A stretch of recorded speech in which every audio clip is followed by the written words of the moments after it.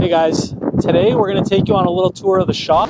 Okay, that audio sucked. Let's try this again. Today we're to teach you the critical lessons that we've learned after being in business for 10 years that took us from our condo to a 10,000 square foot building.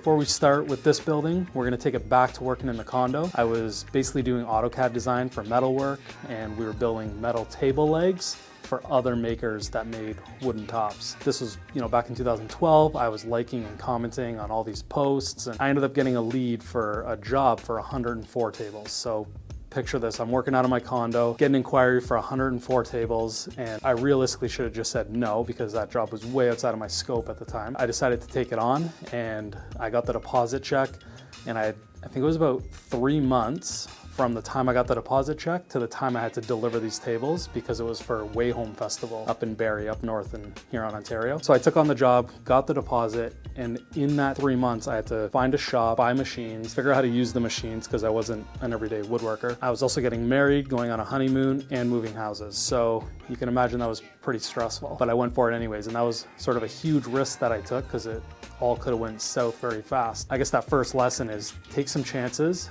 go outside of your comfort zone. If you're always being super conservative or staying inside of your comfort zone, you're never gonna have those big risk, big reward opportunities. Long story short, finished the job. We spent about a year in that old shop and it was like, first shop was super ghetto. It was not very nice. When it rained, water would leak in and go all under my table saw. It was a disaster. Anyways, we I just kept reinvesting. Every job I would get, I would buy, you know, a better machine or more wood or just keep the money going back into the business. And after a year in that shop, that's when we moved here. When I moved in here, I was still a kind of a one-man show. It was just me, so I was quoting the jobs, delivering jobs, building the jobs, doing all the design work. From top to bottom, it was just a kind of one person, that was me. After I got way too busy, I was working way too long a days, I realized I needed to hire somebody, and that was also outside of my comfort zone. It was kind of easy for me to go in the shop, come to the office, and bounce back and forth and do all the work, but I wasn't able to keep up. So I decided to hire someone, and I, I guaranteed them 20 hours a week because I was scared that I wouldn't have enough work for them. Basically, I guaranteed that 20 hours a week, and I remember this clearly. The guy ended up working 50 plus hours a week every single week the entire time he worked here for I think it was three or four years. I was so scared about committing to more than 20 hours. Meanwhile, I had 50 hours of work, we got more jobs, and that kind of ball just started rolling. Again, that was outside of my comfort zone, so be calculated a little, but take some risks and, and you'll get some bigger reward. Let's go to the, our first shop, which looks a little different now, but we'll show you that room now. This was our original shop when, when I moved in here and it was just me. Those doors didn't exist and this room looked a lot different. You know, in here there was jointer, planer, I had like a miter station on that wall. There was a big mezzanine up top uh, where we stored a lot of materials like barn board. Yeah, we were just pumping tables out. Everything would kind of come in and out that garage door, so there was no forklift for unloading lifts of lumber or anything like that. And we just kind of grinded out table after table. I remember there was only two tables to work on in here. And at one point we had five tables stacked up and we were like just sanding the, the top table and then we'd swap them and sand the next one and swap it because there was no space to do anything else but we had so many jobs at the time. From there I ended up working out in the shop a little bit more and we hired uh, in the office to help out there with some of the admin work. So that was like, a, you know, another scary hire because the first employee was scary, but second employee was also a little scary because it's a bit of a commitment. But those were the best decisions I've ever made. And now we've got nine or 10 employees now. I can't even keep track anymore, but don't be afraid to hire if, uh, if that's holding you back. We're just table after table, just grinding out these tables. And, uh, Meanwhile, I was, you know, liking, commenting, and, and just engaging on social media I was starting to build a bit of a social media following because I was active, posting every day, responding to comments and DMs, liking other people's work, and just being like an active member of that Instagram woodworking community. Doing an MMA? An MMA is a money making activity. So oftentimes I see people get distracted. You know, they go to do a, a quick search on YouTube or Google to find an answer for something, and then they end up down a rabbit hole of things unrelated to what they were trying to do. So I try to make it a common practice to ask myself, is this a money making activity? And sometimes it's not, and I'm still guilty of it. I'm still working on it, but always ask yourself that. Try not to get too distracted and try to stay on those money making activities and those kind of like top of the to do list items and not get too far into the, uh, into the weeds or, you know, distracted in, in YouTube and Google.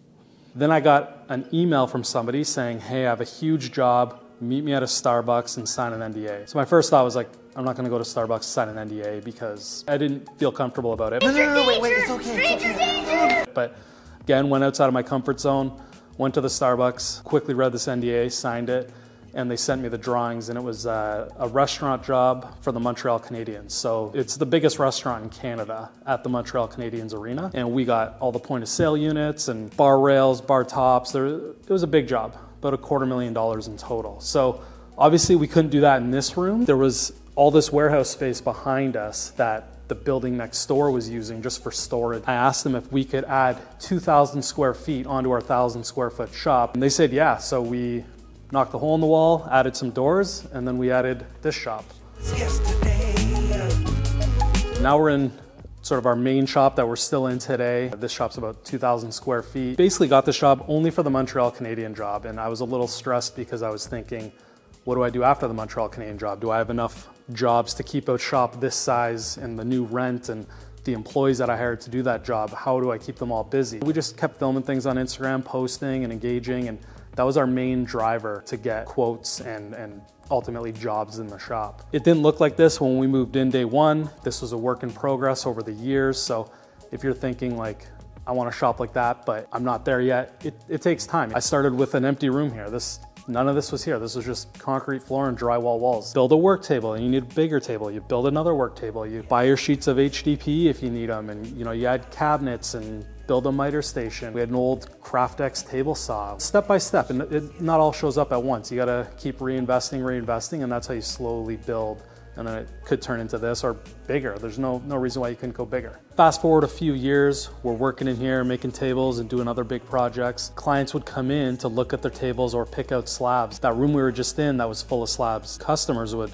see them and say, hey, do you sell this? Do you sell that? And eventually I realized I should probably turn this room into a retail space and make it open to the public so that the general public can come in, buy slabs, wood finish, epoxy, etc. We converted that room into retail and what kind of evolved from that was people online on Instagram would see that from you know different parts of Canada and the United States and other parts of the world, and they would ask, "How can I buy that? How can I buy that?" And ultimately, that led us to starting Jeff Mack Supply, which is the online store. There's a saying, "What got you here today won't get you there tomorrow." So if we just stayed in our lane, built tables, tables, tables, you know, we'd be fine. But we were able to expand on the business and have like kind of multiple pillars of revenue. So if you know the table business slowed down, maybe the retail side would pick up. And if the retail side was slow and tables were slow, the online store would be pulling its weight. It's important to have more than one revenue stream. You don't want to put all your eggs into one basket. You can, it's just risky, and if that goes south, then you know what's next. So try to have a couple different revenue streams that can kind of be a bit of a backup plan if anything happens. I'll show you guys, you know, a little bit of what's going on and some of the tools and machines we have and kind of what we use on a daily basis. We've got this Holytek planer. It's only a 24 inch planer, but bigger than the Craftex. I think it was a 15 inch planer that we used to have. So a good upgrade. There's bigger ones obviously, but this does the job for us. It's It's been a good investment. We have a 25 inch uh, King drum sander, which that comes in handy if we're doing a dining table and we'll sand both panels and then glue it back together. The SawStop, as I mentioned, this was a big upgrade. I actually had one of my employees set it off with their finger by accident. I forget what he was working on, but very seasoned woodworker. It's not like he was brand new to any of this, but yeah, I ended up setting it off with his thumb and uh, it was the smallest little nick. This isn't a promo for SawStop. This is a, you know, a reason why you, you should invest in tools like this. So he, he nicked his finger, there was a little bit of blood. He, he was back to work in like an hour. He stopped working, you know, went and had a coffee just to calm his nerves a bit, but he could have lost his thumb there. That would have been bad for him, bad for us, and overall huge negative experience. But because of the SawStop, yeah, he was back at it within an hour after having a quick coffee just to calm things down. So definitely reinvest in safety. You can't you can't go wrong with the SawStop. Another big investment was the CNC. We used to just send out all of our slabs for flattening. So pay a guy to come out in his van, we'd load in the tables that were rough out of the form, he'd take them back to his shop, CNC them, bring them back here, we'd have to unload them. So it was a big kind of waste of time and money because I was paying him to drive and flatten and drive again. So we, we bought this CNC to flatten all the slabs in-house. That's been a huge time saver. Obviously, this is an investment. I think this machine was around $40,000, but there's smaller options. And if it makes efficiency sense, then uh, it's worth the investment. What's up with that? This is uh, the dumping grounds. With a busy shop, you kind of end up with a bunch of extra junk just laying around and you end up busy working on tables and not necessarily organizing and cleaning as much as we should. So yeah, this is a work in progress. We started our online store after we had a bit of success in our in-store retail space. And when we first started, I'll show you, all we had was this one corner. All we had was this because all this space belonged to the metal company next door. So they had all their metal coils out here and and I kind of bugged them. I'm like, hey, can I just get one corner back here? And then we had access to the bay door as well. Yeah, we had one shipping table, a couple little racks. We, we didn't start with an online store that had seven or 800 items. That's very overwhelming, but you got to start with something. So we actually started with Ecopoxy sales, doing it over email. We tell people to email in if they wanted the Ecopoxy. We would give them the price over, e like it was so archaic, but that's how we started. It wasn't the best solution, but it was a solution that brought in revenue until we could invest and take the time building the actual online store so people could go on, pay with their credit card, and then we figure out the shipping side of it. Baby steps, you know, the, don't let perfect get in the way of good and uh, do something, you know. After a year of working from this and we kind of proved the concept of the online store, I was able to convince the metal guys who had all their stuff back here to move right out. And we basically took over the rest of the building. So I'll show you guys that. It's our trusty forklift. We just slapped a new battery in her and she's just like brand new. Over the years, obviously we kept adding products and more products to expand our offering. We were always asking our consumers, you know, what they wanted us to carry in our store. All the while I was still active on Instagram, started being more active on Facebook and just finding different ways to leave my mark to get in front of new eyes. A lot of the footage that we film in the shop is very satisfying to watch. So random people on the internet will just watch it and then they start following and then they think, hey, I want to make a serving board or I want to buy a table. And the more content you can create, the more sales you're naturally going to get because you're to get into more eyes. It's ultimately it's a numbers game. So, you know, you might post 10 Instagram posts in a row and it not have a lot of success, but that doesn't mean you quit because that 11th one could be the one that takes off and gets that sale that leads to another sale. And don't get discouraged if the numbers aren't there early on. It, you know, I started at zero followers and worked my way up, but it took a long time. We kept adding products. Now we've got I think over 800 products on our online store. We just kept adding them one by one. Slowly built up our product offering. We started hiring more employees. We actually developed two of our own brands, which are Beaver Dust Pigments to compete in the pigment space, and then also Empire Molds to compete in the pre-made reusable mold space. So, you know, after selling those products from other companies, I kind of learned like these are high moving items. I, you know, I was a little more passionate about those than say an oil finish or an actual epoxy brand. So I decided to start my own companies there. And that was big risk. There was a lot of money that went out to start those companies, but that's how I reinvest. I could have went out and bought a couple of cars with the money I put into starting those two companies, but I knew that that would pay off and it would be like kind of one step backwards to get two steps forward. You know, where if I didn't take that leap and step out of my comfort zone, we'd still be kind of stagnant in the same spot and not have the opportunity with these other two brands. If this all seems overwhelming, I'll kind of share with you a little technique that I use to break down those big scary goals. Picture a pyramid and at the top of the pyramid is your big goal. So let's say your goal is to get out of your garage into a say a 2000 square foot shop because that would be, you know, a big breakthrough and that allows you to get some bigger jobs and so on. So at the top of the pyramid, you're going to have your 2,000 square foot shop. Now, that, that's intimidating for a lot of people. What do you need to sell to pay the bills of a 2,000 square foot shop? Maybe it's, you know, two tables a month and 10 serving boards, and that'll just get you by. You're not making any extra money, but that'll get you by and pay your bills. So, top of your pyramid, you've got your your big goal of $2,000 a month shop. Then you've got your two tables and 10 charcuterie boards. Then underneath that, how are you going to get the jobs for two tables, 10 charcuterie boards? Maybe that's sending DMs or emails to 10 interior designers a week. That's totally plausible, not too crazy.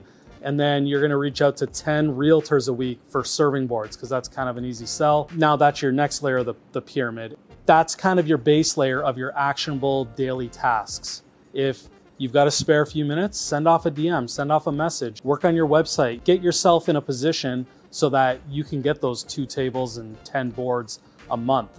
And you know, it's all going to be baby steps. So, you know, one designer that you sign up now and then another real estate agent next time and you just slowly build that and it's not going to all happen in the first week. It might take 3 months before you get to that point, but then you can justify the big 2000 square foot shop when you're ready. I've got one more tip that I think will resonate with all businesses. So let's go in the shop. Come with me. One of the biggest mistakes I see other makers make, whether they're big or small, even big companies do this, is they make it too difficult for the customer to just give you money. What I'm saying is like money follows the path of least resistance. Back in the day when customers would try to buy a table from me, they would say, hey, I'm interested in a dining table. And I would respond with, how big of a dining table do you want? They would say 96 inch by 42 inch. And then I would say, what kind of wood do you want? And it was this 20 email long chain. Time kills all deals. So if they lose interest or they find it somewhere else, like I should be getting all those answers in the first email. What size of the table? What kind of wood? Here's some examples. Check out our website. Better yet, have a quote form for them to fill out so that you gather all the info that you need so that you can give them a price within 24 hours of their inquiry. That idea, that thought is still kind of hot on their mind when they get their price. They're more likely to pull the trigger actually buying the table instead of it taking a week or two to email back and forth and it's just it's just a headache. You should make it as easy as possible. So remove any and all friction points of them being able to pay you and work out the details with the customer. Examples of this is having a clear website. Make it clear as to what you make, where you're located. You know, the last thing you want is like a customer in Colorado and you're in Toronto and they think they're talking to someone local and then that kills the deal. So make sure that you're always communicating clearly with what the customer is going to expect so that there's no like, I wonder what it's going to look like. Or, you know, if you can do a, a mock up for them or send them a photo of a previous table. That is a good example. Yeah, you just want to remove all those friction points. If they want to pay with their Visa, do you have a way for them to pay with Visa? If they're to write you a check, where do they mail it to? Hey, you could pay with check, you can mail it here.